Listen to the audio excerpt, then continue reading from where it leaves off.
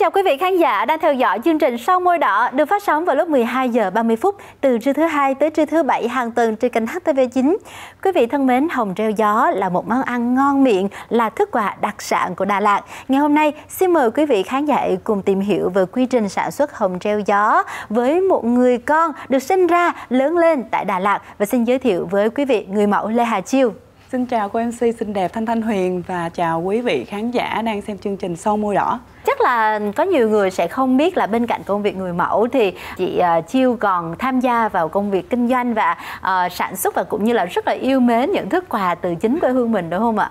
Thật ra là mình sinh ra là ở Bình Định nhưng mà mình được lớn lên từ nhỏ là ở Đà Lạt và hiện tại gia đình cũng đang sinh sống Đà Lạt nên thành ra là mình muốn mang một cái gì đó từ cái nơi mà mình lớn lên á à, để đem tới cho tất cả mọi người. Thật ra khi mà nói về đà lạt thì hầu như ai cũng biết và ai cũng rất là thích. Tại vì ở đà lạt thì vừa không khí đẹp nè à, không cảnh thì rất là lãng mạn nên thơ. Và ngoài ra thì rất là nhiều món ngon đặc sản đà lạt nữa. Nên uh, chiêu cũng muốn là uh, tìm hiểu những cái nào đặc sản nhất của đà lạt đem đến cho tất cả mọi người. Thanh Huyền cũng thích ăn hồng treo gió. Những cái ngày mà trời xe lạnh, những dịp cuối năm á, thì mình có một cái dĩa hồng treo gió mình cắt nhỏ ra rồi mình pha một tách trà, mình ngồi ở đó mình nhâm nhi. Trời ơi, tuyệt vời. Thì Huyền thắc mắc là hồng treo gió thì quy trình sản xuất nó như thế nào hả chị? Thật ra hồng treo gió thì có từ đây là 10 năm về trước rồi. Nhưng mà gần vài năm nay á, thì là nó mới hot lên. Treo gió là một cái công nghệ của Nhật Bản à, hồi trước á Đà Lạt mình là cũng có là hồng sấy bình thường thôi nhưng mà là cái hiệu quả à, mang tới kinh tế cho người dân thì nó chưa được cao nên thành ra là mọi người cũng tìm hiểu theo cái công nghệ của Nhật Bản đầu tiên là phải hái hồng xuống xong rồi gọt vỏ ra rồi làm sạch và ngâm cả cồn và rượu nữa tầm khoảng 3 đến 5 phút sau đó rồi là mình bỏ vô cái lò sấy sấy sơ qua thôi chứ không phải là sấy nhiều như hồi trước nữa sấy sơ tầm khoảng 20 đến 30 yeah. Dạ. phút đó. Rồi bắt đầu là mình mới treo lên từng cái sợi dây như vậy và để ở ngoài trời nắng nhiệt độ từ 25 đến 30 đó. À, còn khi mà không có trời nắng thì mình phải bắt buộc dùng quạt nữa trong tầm cỡ khoảng 3 đến 4 tuần. Nói chung rất là mất thời gian. Chắc là mình sẽ đi uh, chi tiết vào từng công đoạn. Đầu tiên muốn có hồng treo giá ngon là cái trái hồng nó phải ngon đúng không chị? À, mình chỉ cần là chọn những quả hồng nào vừa chín tới à, rồi mình bắt đầu là mình gọt vỏ mà mình sấy thôi. Mình mình treo lên. À, À, nó cũng dễ. Nhưng mà quan trọng là cái môi trường. Cái môi trường mà mình sấy thì nó phải là thật sự là sạch và vệ sinh. Tại vì cái trái hồng đó rất là dễ bị những cái vi khuẩn khác nó xâm nhập. Khi mà bị à, xâm nhập như vậy thì trái hồng nó sẽ bị mốc và bị hư. Ăn thì nó sẽ bị hôi không có được ngon. Nên thành ra là mình phải kỹ quan trọng là phải hợp vệ sinh nữa. Em nghe chị nói là mình còn phải à, ngâm cái trái hồng đó ở trong à, rượu. Đúng rồi. Ngâm trong rượu chứ ăn là mình bị say thì sao hả chị? À, không mình chỉ ngâm trong rượu hoặc là cồn mà có một cái nhiệt độ cái độ men nó nhẹ thôi. Tầm cả khoảng 3 đến 5 phút ngâm vô rượu với cồn như vậy là để giúp cho trái hồng nó sạch và kháng khuẩn những cái mà vi khuẩn à, để cho khi mà mình treo gió một cái thời gian tầm 3 đến 4 tuần lận ở ngoài trời thời tiết như vậy thì để cho cái những con vi khuẩn nó không có xâm nhập vào. Và khi mình ăn á thì từ trong trái hồng đó nó sẽ có những cái công dụng rất là tốt cho sức khỏe của mình nhất là cả phụ nữ nữa. Nó còn làm đẹp cho phụ nữ. Nó sẽ chống lão hóa nè. À, sẽ làm cho da dẻ mình hồng hào căng mịn ha. À, rồi à, tốt cho hệ tim mạch tốt cho gan ừ. và nó kháng khuẩn cho cái cơ thể của mình. Thậm dạ. chí hồng treo gió nó có thể làm cho lành vết thương của mình nhanh hơn nữa. Để mà có được món hồng treo gió ngon thì những cái yếu tố nào là quan trọng nhất chị ha Đà Lạt rất là nhiều loại hồng nhưng mà hầu hết là loại hồng nào mình cũng có thể là treo gió theo kiểu công nghệ Nhật được. Nhưng mà cái để muốn trái hồng được ngon á thì là trong cái quy trình đầu tiên á là trong quá trình mà mình treo rồi thì trong cái quá trình từ 3 đến 4 tuần đó là mình phải xoa bóp trái hồng. Tại sao thì... vậy lại phải xoa bóp hả? Nói thì hơi thấy hơi kỳ kỳ và thấy hơi lạ đúng không? Nhưng mà mình phải xoa bóp trái hồng hàng ngày. Ví như mỗi ngày tầm khoảng 3 đến 4 ngày đi mình sẽ xoa bóp nó một lần.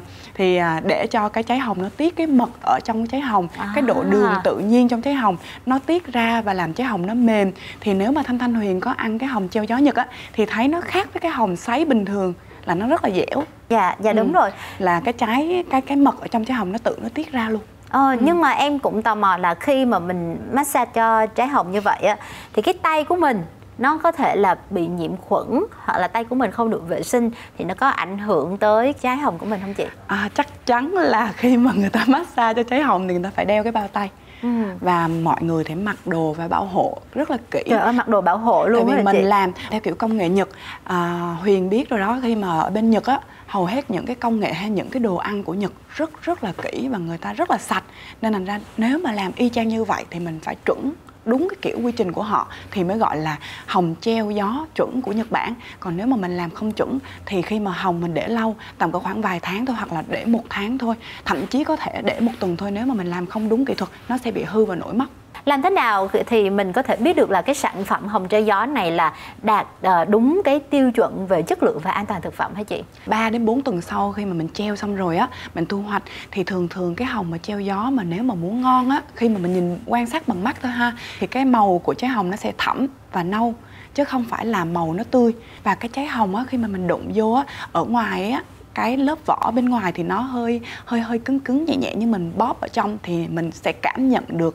cái phần mật cái phần mật ở trong nó sẽ rất là mềm có thể là tiết ra nữa Trời nên thành ra khi quá. mà mình tách cái hồng ra thì mình nhìn bằng mắt thôi là đã đủ thấy cái độ dẻo thì như vậy là đủ chất lượng để mình có thể bán cho mọi người ăn và thậm chí cái hồng treo gió của mình có thể sản xuất qua bên nước ngoài nữa Thanh Huyền nghĩ là để ờ, có được trái hồng treo gió ngon thì nó phụ thuộc vào cái việc là mình treo như thế nào, rồi cả thời tiết nữa, đúng không chị? Ví dụ như là trên Đà Lạt thì cái thời điểm nào là khách du lịch có thể lên và và xem hồng treo gió và cái thời điểm nào là sẽ cho ra những cái sản phẩm mà chất lượng và ngon miệng nhất? Mùa hồng á, là vào cuối tháng 8 đến là tháng 12 là mình đã hết mất cái mùa hồng rồi.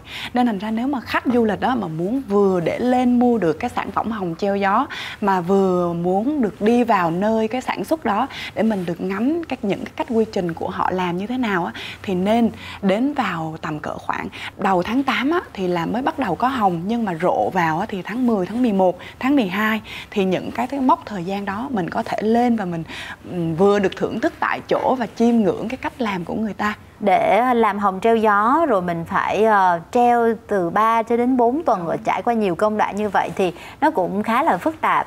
Thanh Huyền không biết đó là liệu là có những cái nơi mà người ta sấy cho nó nhanh không chị? khi mà mình làm chuẩn về công nghệ Nhật là mình phải bắt buộc là phải rất là kỹ và rất là tốn thời gian. Chính vì tốn thời gian như vậy thì mới đem lại kinh tế cho người dân ở Đà Lạt. Tại vì nó nó đáng mà nó đáng đồng tiền mà.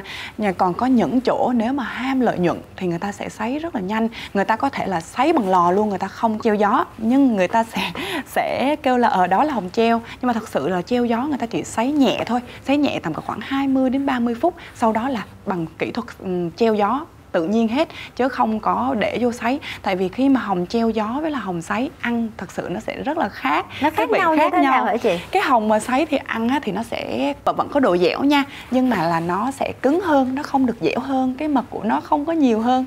Còn treo gió thì cái vị nó sẽ ngọt thanh, nó không ngọt gắt. Và khi mình xé trái hồng ra, mình ăn tới đâu mình sẽ cảm nhận là cái mật của trái hồng nó sẽ lan tỏa trong miệng mình. Rất là ngon ăn hồng treo gió ngon á, thì như chị Chiêu nói là một năm chỉ là từ tháng 8 tới tháng 12 thôi và mình mang về nhà mình làm thức và thì mình có thể bảo quản trong vòng bao nhiêu lâu và sử dụng trong vòng bao nhiêu lâu ạ? À? Thanh Huyền với mọi người á, hãy yên tâm tại vì khi mà người ta đã à, nghĩ ra cái cách mà hồng treo gió Nhật Bản này thì người ta chắc chắn là sẽ có cái cách bảo quản của nó để được lâu để mình đem làm quà thậm chí là mình sẽ đem đi à, xuất khẩu ở bên nước ngoài cũng được nữa thì khi mà mình á, mang về mình ăn liền thì không sao thì mình chỉ cần để ở ngoài thôi. Nhưng nếu mà mình muốn để ăn được lâu á à, tầm cỡ khoảng 1 đến 2 tháng thì mình để ngăn mát tủ lạnh. Còn nếu muốn được lâu hơn nữa thì mình cứ để ngăn đông của mình á. Khi nào ăn á thì mình sẽ xả, à, lấy ra mình xả đông và mình có thể mình hấp lại nữa để cho trái hồng nó mềm nó dẻo à, và một điều nữa thì sẵn đây thì chiêu cũng sẽ chỉ cho thanh thanh huyền và tất cả mọi người để hiểu hơn về cái hồng treo gió và những cái hồng sấy khác của đà lạt hồng treo gió à, hoặc là hồng sấy thì khi mà để một thời gian tầm cỡ khoảng 2 3 tháng hoặc là 5 6 tháng Dạ. thì nó sẽ bắt đầu nổi cái phấn trắng xung quanh ở trái hồng là Không- nó bị bị mốc đúng không chị? À, đây không phải là một mình Huyền không mà tất cả mọi người cũng hay hỏi như vậy và rất là lầm tưởng như vậy. Nếu mà Chiêu không biết là Chiêu cũng nghĩ là móc tại vì rất rất là giống luôn. Nhưng mà ở đây không phải là móc mà cái đó là cái men phấn tự nhiên trong trái hồng tự tiết ra. Mà cái men nó cực kỳ tốt cho sức khỏe. Nên thành ra là mọi người cứ yên tâm khi mà có cái men đó thì trái hồng càng ngọt hơn càng mềm hơn và Ủa? càng tốt cho sức khỏe hơn nữa. Và quý vị khán giả thân mến ờ, với phần chia sẻ về hồng treo gió một thức quà đặc sản của Đà Lạt vừa rồi cũng đã khép lại trong môi đỏ ngày hôm nay. Ờ, cuộc trò chuyện ờ, giữa Thanh Thanh Huyền và Lê Hà Chu xin được khép lại. Hẹn gặp quý vị trong chương trình lần sau lúc 12 giờ 30 phút từ trưa thứ hai tới trưa thứ bảy hàng tuần trên kênh HTV9 xin chào và hẹn gặp lại